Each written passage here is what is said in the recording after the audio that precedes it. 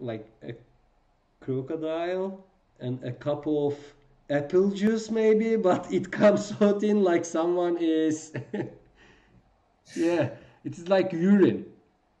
Yes yes. I wish it was apple juice but it was urine.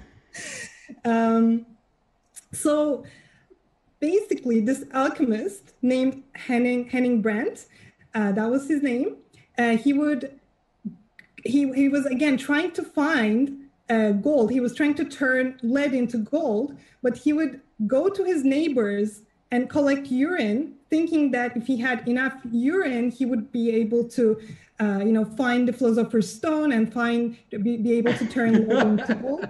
it's so funny. Like he's on the quest to find the philosopher's stone, and he is going to his neighbors and asking for their urine, right?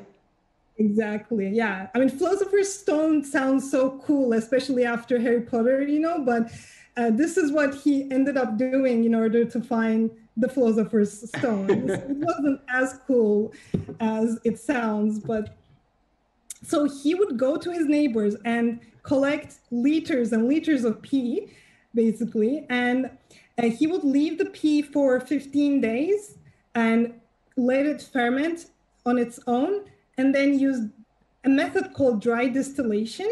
Do you know what dry distillation is? John? Yeah, I think they, they, they use it to separate substances from each other, right? Yes. So uh, he would basically heat all this pee, and then some of the pee would evaporate, and the rest would um, just stay there. It would be the residue. And, you know, when he collected enough residue, he realized that it shined, it glowed uh, in dark. Wow. So, so, now we are seeing that substance, right? Yes. So what do you think that substance is then? I, I think that's phosphorus, right? It should be. exactly, yes. So basically, after this process, they realized that uh, they, I mean, he realized that there was the substance and uh, he called it phosphorus. Uh, of course, he didn't know back then that this was an element and it was a very important element, but he knew that he made a discovery and he decided to call it phosphorus. Why? Why? Yeah. Uh, because, uh, you know, the name phosphorus is actually, it comes from Greek and it's made of two words. Uh, I think it's phospho and it's phospho and. Phorus? Phosphor, yeah, it's, it's phosphorus and it means morning star. And it's oh. called morning does that mean anything to you morning star? I think yeah but i think it was not a star right? The morning star was a planet. Venus maybe? Yeah yeah it's venus. Uh, but since venus um, kind of sets uh, I mean, it came right before sunrise. We were, you know, we could see Venus. I mean, we still can. And back uh, back in the day, Greek people called it morning star, thinking that it was actually a star when it's it's a planet. But since we were able to see this star when it was kind of still kind of dark, uh, they gave this uh, star, this planet, uh, a name, and uh, that was Morning Star. And you know, seeing this, uh, I guess inspired by this name, uh, this alchemist Brandt decided to call this substance phosphorus, which is morning star. I think it's just so cool that when you make a discovery, you decide what the name of it is going to be, right? Yeah, and calling it phosphorus was a good choice because it really brings light at the end. So and I know uh, we uh, actually all living things, I think, uh, has phosphorus inside, right?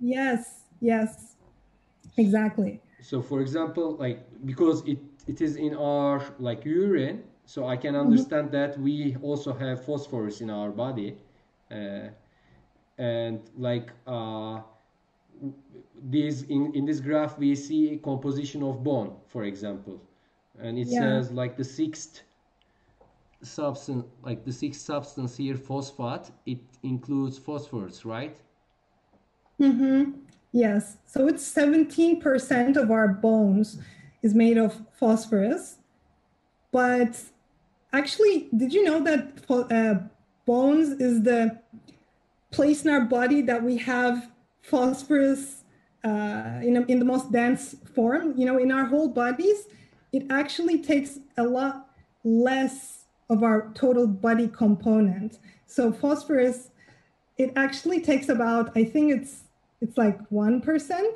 of yeah, our total yeah, body. yeah. It is it is one percent of the total weight. Yeah.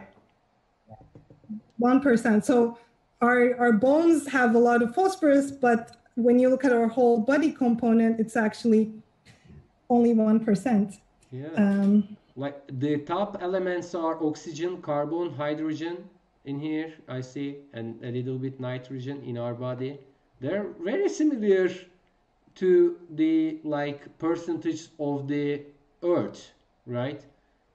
I know that carbon, carbon, hydrogen, and oxygen uh, are the uh, like top three elements in the earth as well. Exactly. Yes. So this composition that we see here right now is actually very similar to uh, the composition of you know all living organisms in the world and our world in general. I think that shows us that shows us something great about.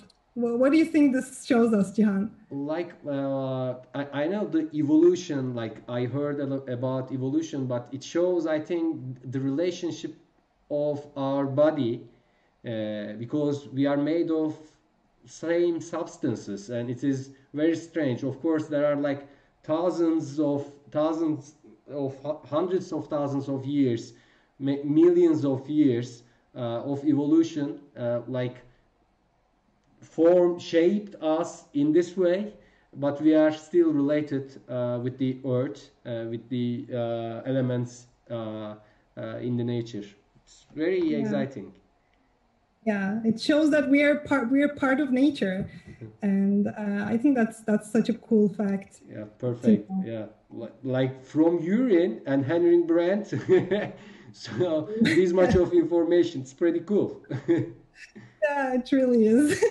so like uh, how do people uh, produce phosphorus now do you know Uh, I think they use rocks. I mean, I'm hoping that they they're not using pee still, right? yeah right yes. Um, so yeah, I mean, I I think they they use these rocks to uh, make phosphorus out of it. Obviously, these aren't made solely of phosphorus. They they are uh, you know they contain different compounds uh, and you know molecules that have phosphorus in them, and then uh, through different processes they make phosphorus out of these rocks. yeah Uh, am I right, Jihan? Yeah, yeah, yeah. Uh, and there are like different uh, production procedures uh, in order to produce phosphorus, but uh, like Henry Brandt, they are they stop uh, producing phosphorus from urine because phosphorus is good for us, and also like it takes a lot of phosphor uh, urine to produce phosphorus. It should, I mean, right? Uh, I mean, it's just only one percent of our body weight, and it is good for us. So there should be very little amount of uh, phosphorus in our urine. So that question came up to my mind. Yeah, actually, I'm so glad that you had that question because that relates very well to our next question. Wow. Uh, so, if you're ready, we're going to switch to our question two. I'm ready. Perfect. so, how much urine did this alchemist collect to make 60 grams of phosphorus? Um, 60 grams, uh, one kilogram, 100 kilograms, or 1,100 kilograms? oh, so I even I think gave a clue about this question to our viewers, right? Yes, yes, you did. Uh, it was a very good clue, but maybe you can repeat the clue yeah. here Of course, like I think to help a little bit. yeah yeah yeah i think 60 grams is, is impossible uh like 60 grams is so less uh, uh and y- you you cannot like produce 60 grams of phosphorus out of 60 grams urine and i think like what you said was you said 1% of our body weight uh, includes phosphorus for example Yeah. for me I am about 85 kilograms, and Mm-hmm. it it is it makes like 800 grams or so, right? Yes. Yeah. Exactly. Yeah. And and only some part of it will be released from my body. Mhm. So I, I would go with thousand and hundred kilograms, and uh, uh, most of our viewers actually uh, think the same thing. So uh, most of them uh, actually came uh, came up with uh, D option D, thousand and hundred kilograms. So what's the answer in here? Yeah, it, it, it, it is, you know, 1,100 kilograms. I don't know. I, I can't imagine how much, I can't really visualize that uh, concept really, uh, especially like I know that it must have smelled very bad. But, Yeah. you know, besides that, uh, I think the way you reasoned was really, you know, it was really, you know, well reasoned because, uh, again, as you said, uh, if it's only like 1% of our body weight, then it needs to be, and if it's 60 grams, it needs to be, you know, six, six kilograms minimum. Yeah. Uh, but, um, you know, it had to be a large number. So I think I would have gone with that uh, answer As choice well. as well.